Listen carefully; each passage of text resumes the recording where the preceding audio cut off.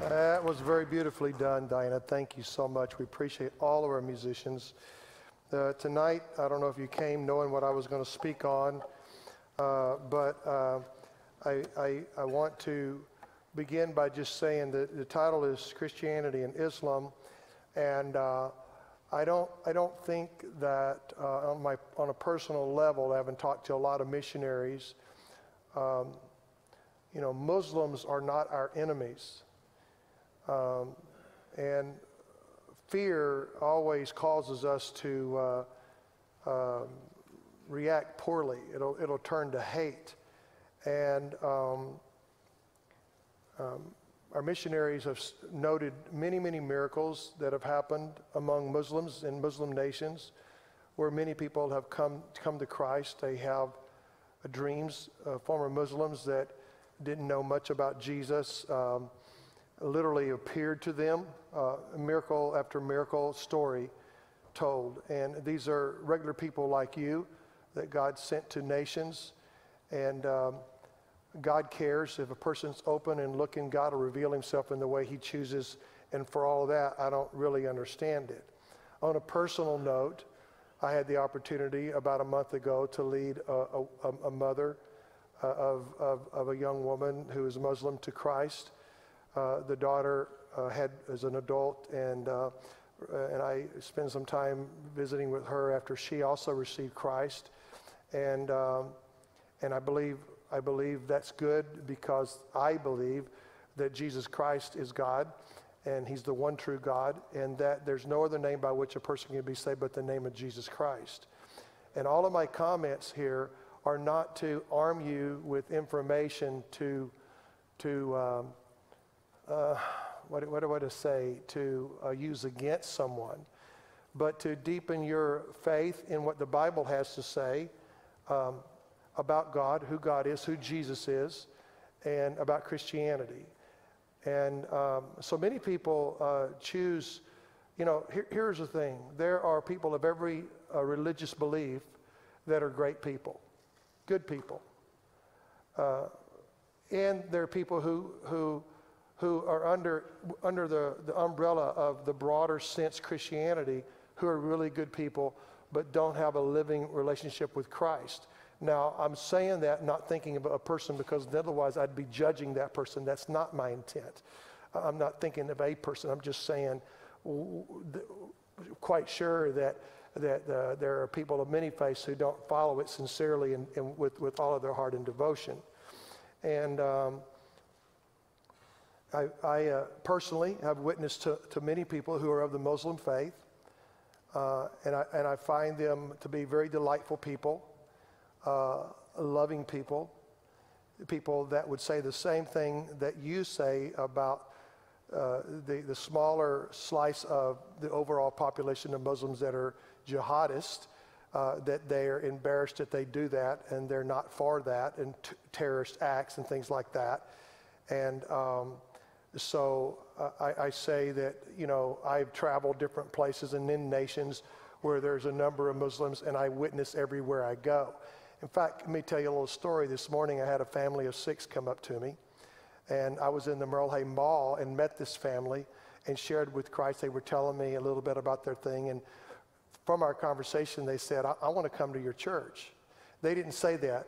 I, I didn't, they, they must have thought it because they told me today from our conversation, we wanted to come to your church, and they showed up today. And it kind of shocked me in a way because I, I, I, talk to a lot of people, uh, and uh, you know I'm open with, with what I do. Uh, I'm open with the fact that I'm not perfect.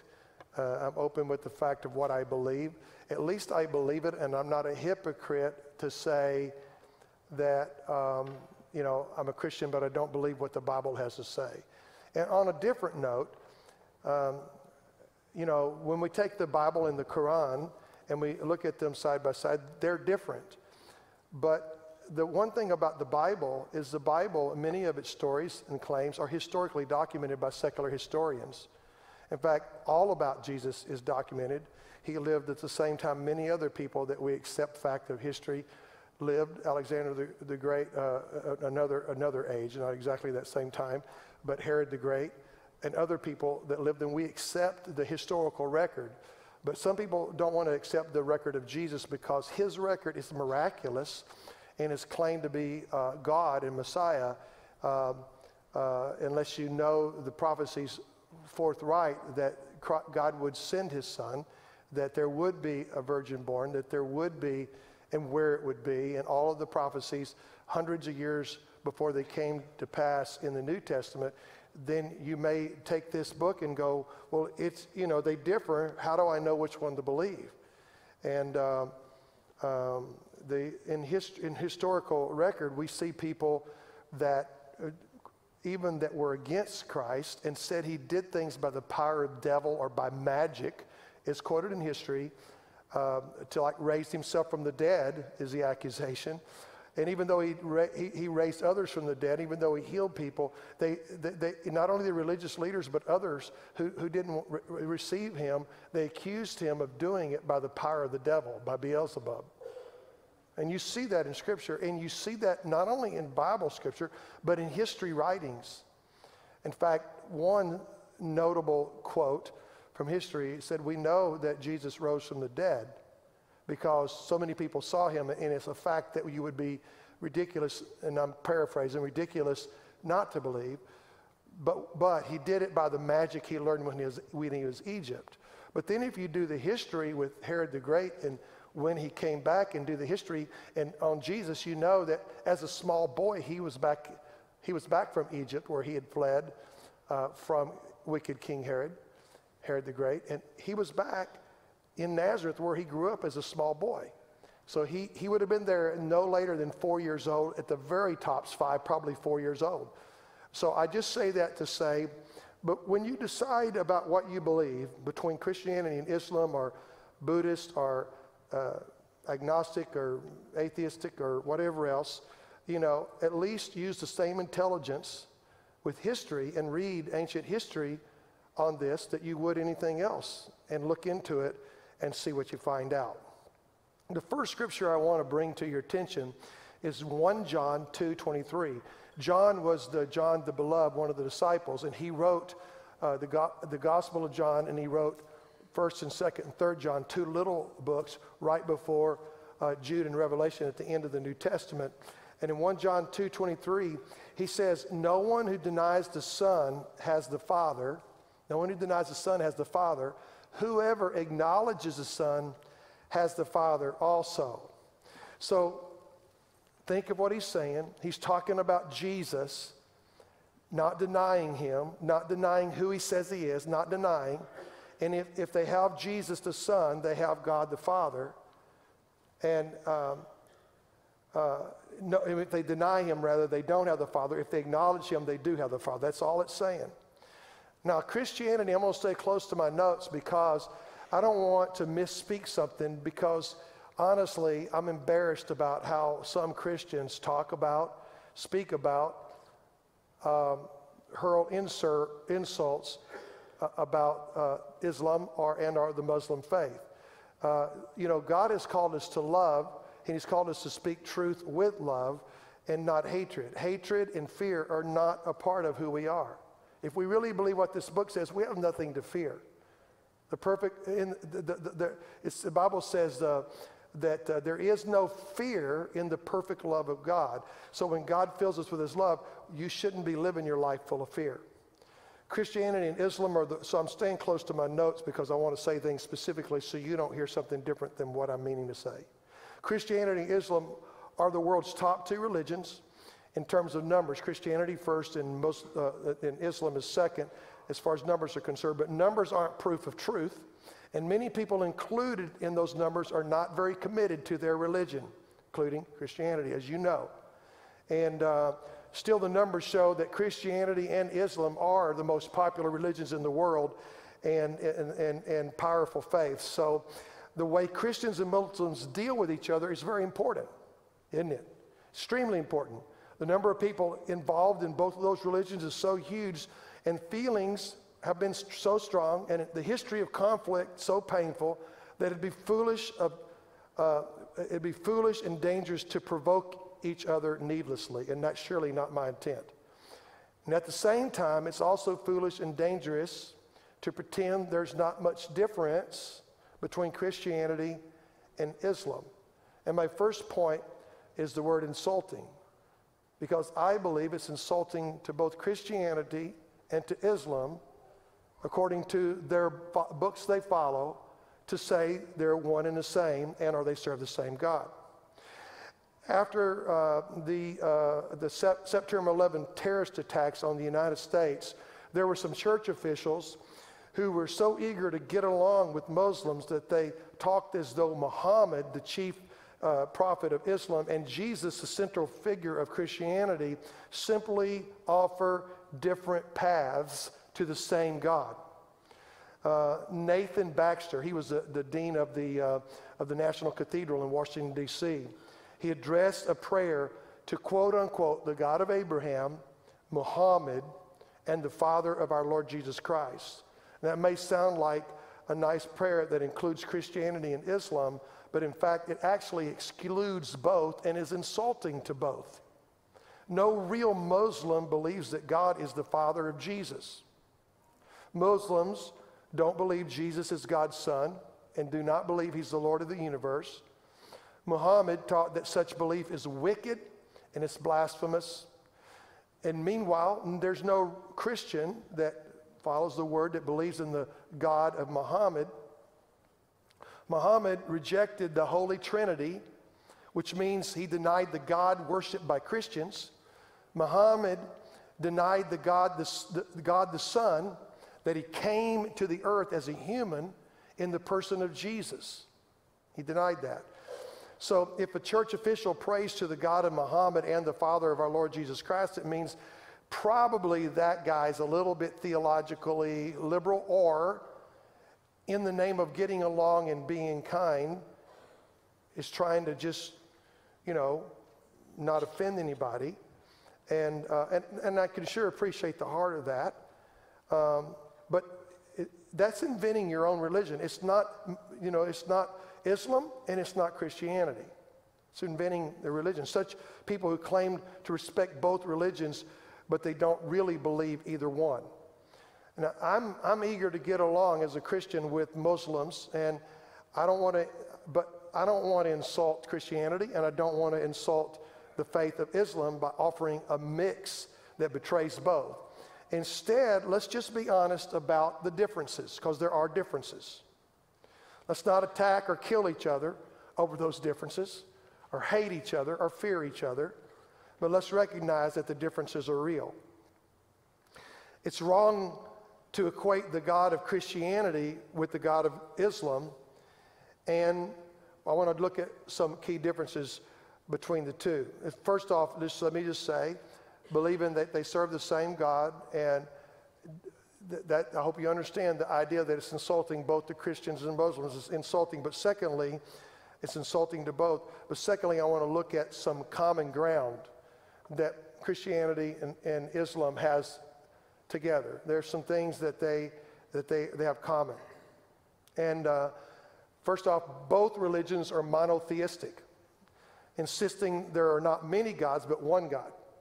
Both religions reject the pagan belief in various gods and goddesses. They both reject the pantheistic belief that all things, like this here, are God, or at least part of God. I believe Hindus uh, believe that. Both also insist there is one all powerful, all knowing being with no beginning or ending and who rules over all things. Islam, like Christianity, teaches divine creation. They reject random evolution. The world and the things in it are products of intelligent design, they believe, just like Christians, not mindless chance. And this is plain, I believe, to anyone who will look at the evidence. But unlike agnostics or atheists, Islam agrees with Christianity that all things begin with the supernatural creative act of God. Islam stands with Christianity on many social issues too. They oppose homosexuality in the sense that it's not God's intent in the beginning, and, and, in general, abortion. Islam emphasizes honesty in business Muslims are not supposed to, according to the Quran, they're not supposed to sell blemished products, produce, They're not supposed to uh, cheat in weights and in measurements, to hoard or to conceal, hide a products, and the quote unquote it says to conceal uh, a product's uh, faults. And there are many other ethical rules in the Quran that are similar to statements in the Bible. So it's good to note that there is common ground between Christianity and Islam. But not only is there common ground, there are very, very deep, the third thing, deep differences. Differences about one, what God is really like, two, about who Jesus is, three, about what Jesus accomplished, and also about how to be right with God and to enjoy eternity with God, everlasting blessing. So the difference is about who is God, about his deity. So, what is God like? There was a student at a Christian college in, uh, who wrote uh, a college publication about his perceptions of Islam after listening to Muslim visitors to the campus. This young man somehow got the impression that the God of Christianity is the same as the God of Islam. He wrote that Muslims pray five times a day to the same wonderful, merciful God that I serve. And that's a common idea in the world today and in some circles, but it's wrong. Christians and Muslims do not worship the same God. They do not worship the same God.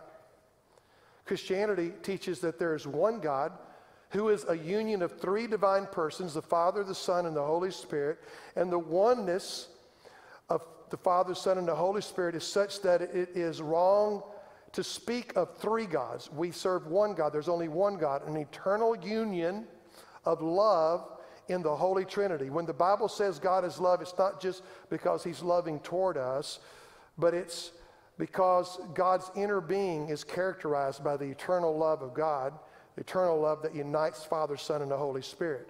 We are one, the Father, the Son, one. Love. Love me Jesus said, As I love the Father, love one another. They are one. Islam believes in one God, but not in the God who Christians love and worship. Muhammad fiercely opposed the Christian belief that Jesus is the eternal Son of God. He didn't believe that. He opposed the Christian belief that Jesus had the same divine nature as God the Father. Muhammad denied that the Holy Spirit is a divine person along with the Father and the Son. In fact, in the Quran, chapter 572 to 75, which I'll read in a minute, it threatens painful punishment in hell for those who say that Christ is God and believe in the Trinity. One Muslim writer said, the doctrine of the Trinity, equality with Allah, and sonship are repudiated as blasphemies. And I quote from Quran 5 72 to 75 they do blaspheme who say Allah is Christ, the Son of Mary, but said, Christ, O children of Israel, worship Allah, my Lord and your Lord. Whoever joins other gods with Allah, Allah will forbid him the garden, and the fire will be his abode. There will for the wrongdoers be no one to help. They do blaspheme who say Allah is one of the three in a trinity. For there is no God except one Allah. If they desist not from their word, in other words, don't stop of this blasphemy, verily, a grievous penalty will befall the blasphemers among them. Why turn they not to Allah and seek his forgiveness. For Allah is oft forgiving, most merciful. Christ, the Son of Mary, was no more than a messenger. Many were the messengers that passed away before him. His mother was a woman of truth.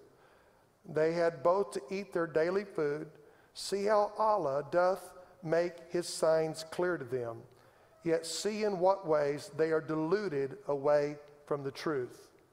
That's rather clear, isn't it? I'm reading from the Quran. It's not my opinion. Um, I'm reading what it says in their book. The Bible's, was that on the screen? Could you read that okay? I, I put that up because I realized me reading that might be difficult. Uh, the Bible is not describing the God of Muhammad when it says of Jesus, and I quote in Hebrews 1 uh, to uh, 1 verse 3. This is, this is, you know, let me say it again. The Bible's not describing the God of Muhammad when it says about Jesus this. The Son is the radiance of God's glory and the exact rep- representation of his being, sustaining all things by his powerful word. This God whom Christians worship is not the same as the God of Muhammad. I am not trying, I'm not trying to insult anybody, really, truly, when I say this. I'm simply stating a fact. And a, a loyal Muslim would tell you the same thing. When I worship the Holy Trinity and revere Jesus Christ as God, fully God as though he were not man at all, and fully man as though he were not God at all, I'm doing something that no Quran believing Muslim is permitted to do. So we don't need to pretend that we all worship the same God. It's just not true, those that really know their faith. Both Muslim and Christian alike would agree with what I'm saying. So it's not being said to insult the Christian, it's not being said to insult the Muslim.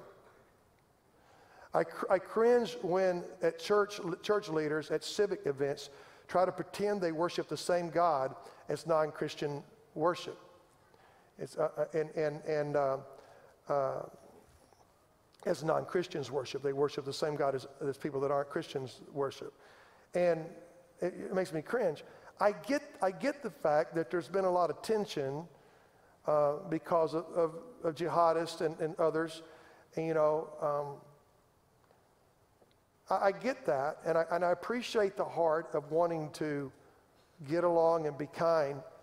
But, but I, I think that I think that both Muslim and Christian alike can surely accept the fact that we agree, we, we, we believe something different. Now, now, I understand there are those that are jihadists that look at us as heathens and enemies, but I would sure hope that none of you would look at them with such eyes but look at them like you would anyone, as God would, and through Jesus' eyes, with love and kindness and mercy, desiring that they would know the truth. At a memorial service, just to give you an example, in Yankee Stadium after 9 11, the, there were the, there, it was for the people who died in the terrorist attacks. There were le- leaders of different religions. And some of these leaders were supposed to be Christians, but they didn't give much sign of it. They prayed to a vague God and said nothing of Jesus at all. None of them did. Someone sang a, a hymn to Mary, you know, Ave Maria, which is fine, but nobody's saying anything to Jesus or mention Jesus to Christ. A priest ended his prayer by saying, Mary, Queen of Peace, pray for us, but he didn't mention Jesus, nor did any other Christian clergy. Apparently, it was considered okay to pray to Mary, but maybe seemed too offensive to pray in Jesus' name in the presence of those who don't accept Jesus Christ as God. But my respect goes to the Muslim that was at that same meeting because he was honest as he stood before the crowd. A Muslim cleric at the same event didn't hide his convictions at all. He declared repeatedly, Muhammad is the prophet of Allah without embarrassment or apology. I don't share his belief in that. And I surely don't believe what he says there, but his honest declaration uh, is somewhat respectful here. I mean, it is respectful that he was honest, but those church officials who didn't have the courage or conviction to mention Jesus, the name by which anyone going to heaven is saved, for there's no other name, the Bible says, given in heaven and earth that a man can be saved other than the name of Jesus, Jesus Christ, the Messiah. And they, wouldn't, they didn't mention him, much less declare that he is God and the one way to life. So, as a Christian, I don't pray to the same God as a Muslim or a Buddhist or a Hindu. I pray to a triune God, God the Father, Son, and the Holy Spirit, and uh, who come to us in the person of Jesus Christ and put on humanity, humbled himself, and died on the cross. And anyone doesn't accept Christ as the Son of God, then he and I don't pray to the same God. I'm going to say that again.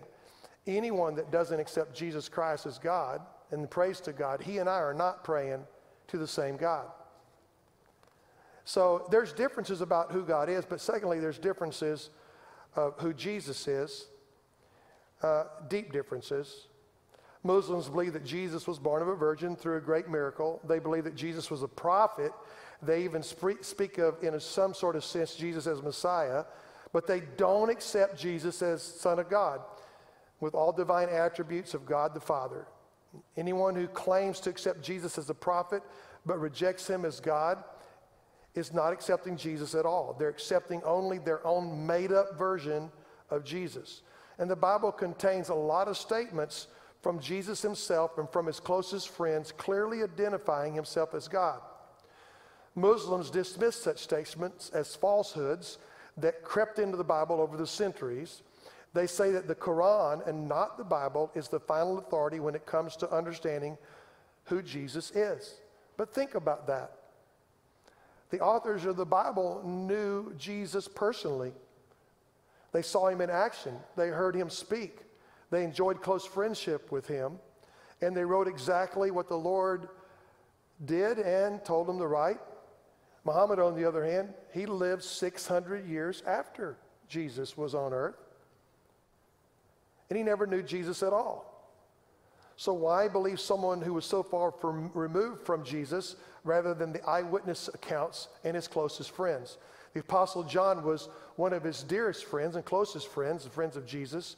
And, um, he, you know, when he was on earth. And, and, and John, John heard Jesus say, I and the Father are one. He heard him. John heard Jesus' enemies accuse him of blasphemy and snarl at him. And, and, from John 10, he says, They said to him, Jesus, you're a mere man. You, a mere man, rather, claim to be God. You, a mere man, claim to be God. But Jesus proved his claim by rising from the dead, accepting the worship of a disciple who exclaimed, One who was doubting, one who told others that said they saw him, they didn't believe either until Jesus appeared to Thomas, the, called Doubting Thomas. And he bowed and put his hands in his side and on his, on his nail prints, touched his side, and said, My Lord and my God. John was a witness to these things. He wrote them down. And his purpose in writing about Jesus, he said, and I want you to turn to this, John chapter 20, verse 31. He says, But these are written. He's writing this out that you may believe that Jesus is the Messiah, the Son of God, and that by believing you may have life in his name. There's the life that's in his name. That Jesus, the Christ, is the Son of God. And then many people did believe in Jesus as God, as, as, God and God's Son, and but others already in John's time was denying that. They were, you know, just like Muhammad, they were doing something similar. And they said that Jesus was special, but denied that he was eternal God and who came to earth in human flesh. But John, under God's direction, and responded by saying, want, look at, turn over to 1 John. And I want you to get there because we're going to look at several verses. If you have your Bible electronically or whatever, go to the end of the New Testament to 1 John and look at it with your own eyes. It helps you to look at it. If you have a Bible, otherwise watch the screen. So he says this in 1 John verse uh, chapter 2, verse 22 and 23. He says this. And he's talking about, uh, he's, talk, he's, he's warning against Antichrist, and they're having this discussion. And then in verse 22, he says, Who is the liar? And then he answers, It is the man who denies that Jesus is the Christ. Such a man is the Antichrist. He denies the Father and the Son. Verse 23 no one who denies the Son has the Father. Whoever acknowledges Son, the Son, has the Father also. So it's clear there, in my opinion. And then if you about who Jesus is, um, and then if you turn to uh, uh, also chapter four of the same book, 1 John chapter four verse 15, We're going to see there are deep, deep differences, not only about who God is, who Jesus is, but about what God was like and who Jesus is, but differences about eternal life. In chapter 4, verse 15, we read this If anyone acknowledges that Jesus is the Son of God, God lives in him and he in God. If he acknowledges that Jesus is the Son of God, God lives in him and he in God. And this has to do with eternal life. Jesus is the Son of God. God has given, and then in chapter 5, verse 11 and 12, uh, it's going on and jumping ahead. And this is the record that God, let me, let me read it in the, uh, in the NIV, sorry. And this is the testimony God has given us eternal life, and that's eternal life. And what does it say? And this life is in his Son. He who has the Son has life. He who does not have the Son of God does not have life. So there's a big difference in, uh, being in Islam and Christianity right there. And then jump down to verse 20 of that same chapter, 1 John 5. We know also that the Son of God has come and has given us understanding so that we may know him who is true. And we are in him who is true, even in his Son, Jesus Christ. He is the true God and eternal life. Do you see that? This is what I believe.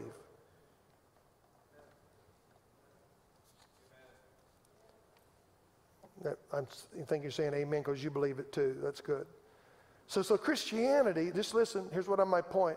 Christianity accepts that Jesus is God and trusts the death and the resurrection of Jesus as the basis of forgiveness and eternal life.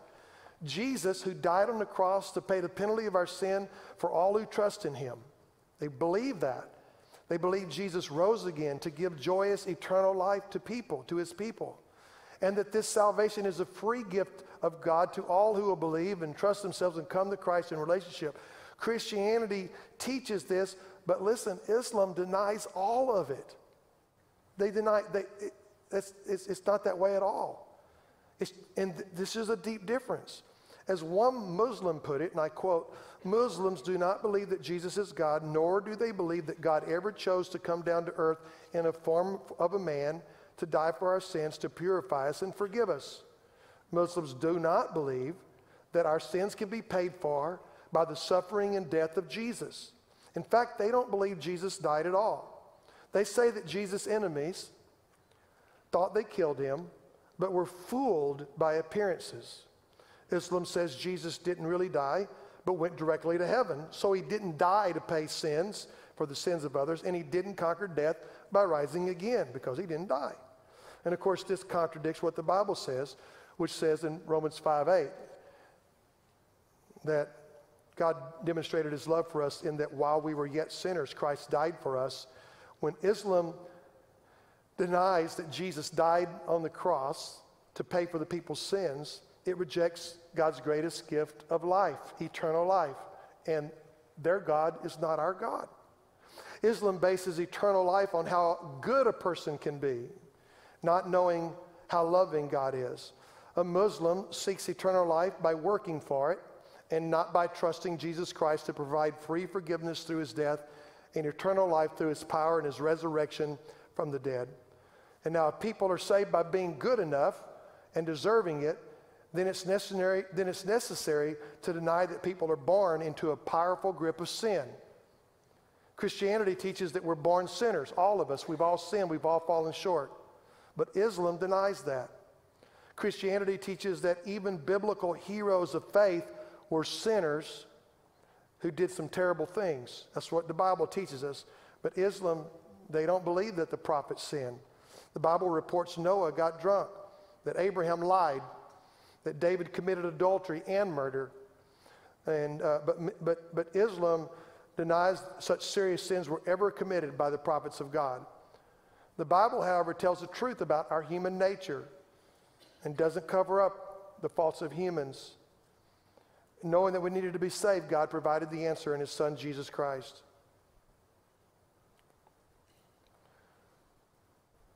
And people are are saved not by being good. This is what the Bible teaches, but by repenting and trusting God through Jesus Christ to forgive their sins. That's how we're saved. And uh, Islam prefers the idea that we have the ability through our own efforts to do what's necessary to have eternal life. A, a Muslim uh, uh, submits to the five pillars of Islam, and I, and I have a screen for that.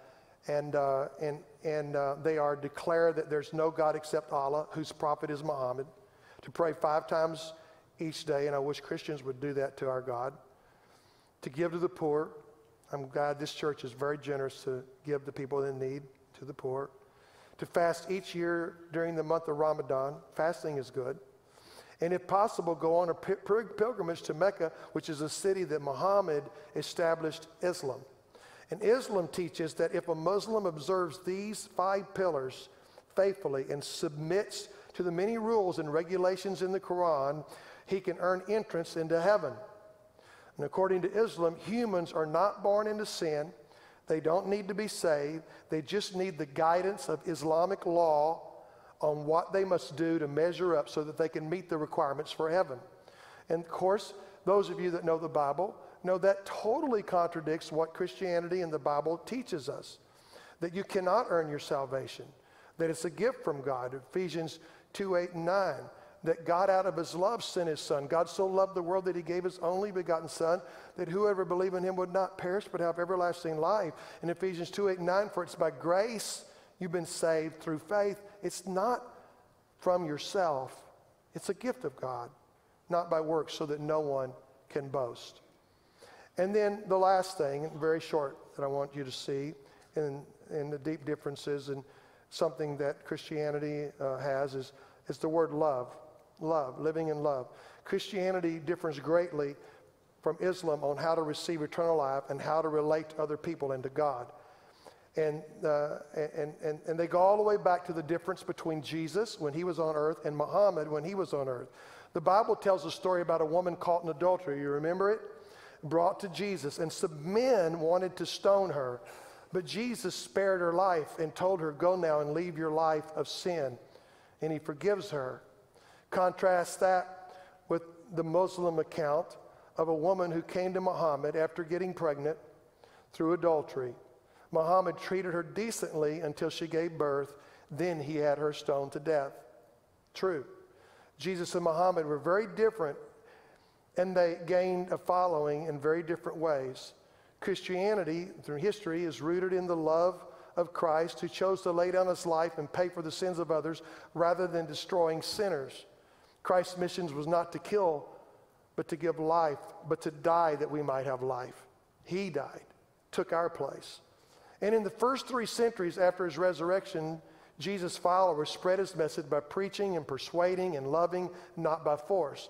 Muhammad, on the other hand, and you can read it in history, did not establish Islam through peaceful persuasion or by laying down his life. Muhammad used military means to conquer Arabia and after his death, Islam spread to other countries through military conquest. And this doesn't mean that all Christians in history have been peaceful or kind, uh, or that all Muslims, of course, have been cruel or warlike. It's just not true.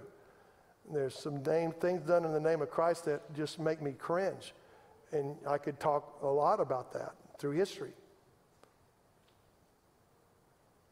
Both are sad. But Jesus' methods were clearly different from Muhammad's.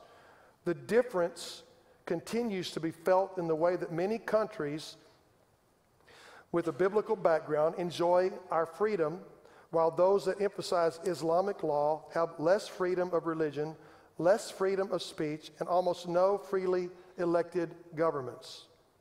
Christianity and Islam also have significant differences in the realm of marriage and family. Jesus taught that God designed marriage as a lifelong union of love between one man and one woman, and that it's wrong to divorce without just cause. And you can look at that in Matthew 19. I'm not going to read it, verse uh, chapter 19.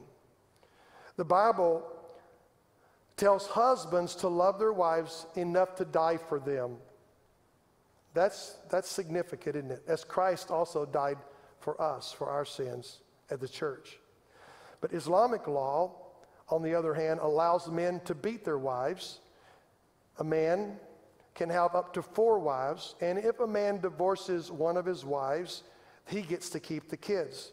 Now, obviously, this doesn't mean most Muslims don't do that. It doesn't mean that Muslims are wife beaters or polygamists or that all people who claim to be Christians have ideal marriages either or respect their wives or that if you're a Christian, you don't treat your wife like she's your object because Christians do that and it's wrong. And there's been wrong teaching in the church about what it means for the man to be the head of the wife that has created a lot of abuse. But there's a big difference between Christian teaching on marriage and the Muslim teaching on marriage. Religious worldviews can affect government structures and family relationships, but nowhere is the impact of the religious differences more profound than a way that man relates to God. The God of Islam is mainly a master, as I, as I understand it, who deals with his servants on the basis of whether they follow his rules. The God of Christianity is the great king, and for all who trust him, uh, God is also a father and a friend, Savior, and uh, he made, paid a huge sacrifice for our sins, that he loves us. And Christians, as Christians, we must approach God with reverence and awe. And we ought to be willing to obey. And there is what God has given us, his commands. But we can pray with him to confidence. And we can know that he is with us. And his spirit abides with us. God's not just a supreme monarch somewhere far above us. God's a close companion. He, companion. he lives among us and in us in Jesus, by His Holy Spirit, He dwells in us and lives in us. And that makes possible this intimate relationship, this warmness that we have with Jesus Christ. And uh, uh, it's different than that which follows is- Islam or in their religion and Allah as their God. It's a total different thing. Musicians, I'm going to ask you to come. In pointing out some differences between Christian Christianity and Islam, I don't want to add any fuel to the flames, and I'm not trying to insult either. I don't want to. I, I don't want any spread any hatred. I don't want to spread any fear. In fact, I'm just actually the, the, the motive of this is actually the opposite to have an understanding. But I want to make clear that the God of Muhammad is not the father of Jesus Christ. So, what's our response? Do you trust the God of love, the God of triune nature, the Father, Son, and the Holy Spirit, whose very being has been loved from all eternity? Will you receive the gift of eternal life from Him by trusting Him in His Son Jesus, who suffered and poured out His life for us as sinners? Do you believe Jesus died on that cross, shed His blood, His lifeblood, gave His life to pay the penalty for my sin that I wouldn't pay my penalty? He died he took my penalty of sin, He took death, and that Jesus Christ is the way of salvation. The Bible says there's no other way, no other name by which we can be saved than the name of Jesus. He is Jesus Messiah. He is the name above all names. He's beautiful Savior. He's glorious Lord. And I believe with every fiber in me what this book has to say.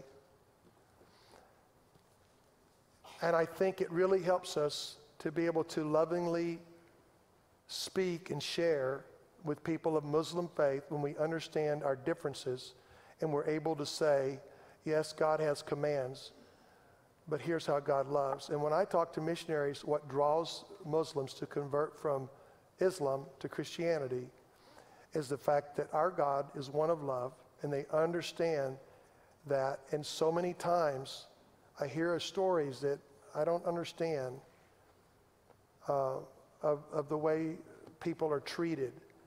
And they, they realize that. And I don't know it all. I, I, don't, I don't know all of it. But I, I did want to share this part. I, I felt like that in our culture, in our time, guys, that honestly, there's, there's such a, a divide and hatred and fear and unwarranted that we, we need to address it. And I'm, I'm glad it's online and you can tell people about it. And if you've heard me insult anybody, I've not meant to insult any Muslim or agnostic are those who are searching. Maybe they're agnostic, would be like sure, searching atheists who just don't believe. I'm not insulting Buddhists uh, or anybody. I'm just saying that I truly believe with everything within me that Jesus Christ truly is God the Son. And He is the one only true way, no other name. How many of you join me and say, I believe that too? Amen. And how many would join me in saying, I want to pray for any Muslim I ever meet? And when I meet them, I want to look into their eyes and see there's a precious soul right there, a beautiful person who I can love in God. I can love them, care about them, and show them with my hands, with my eyes, with my words, with my tone, everything about me, that God is a God of love and He offers His Son Jesus as Savior. Amen. Can we declare in closing who Jesus is? And can I ask you, because I'm not going to ask you to raise your hand or anything like that, but can I ask you if you're at a point where you're ready to make Jesus Christ the one that you trust in and you believe, to ask Him to forgive your sin and make Him Messiah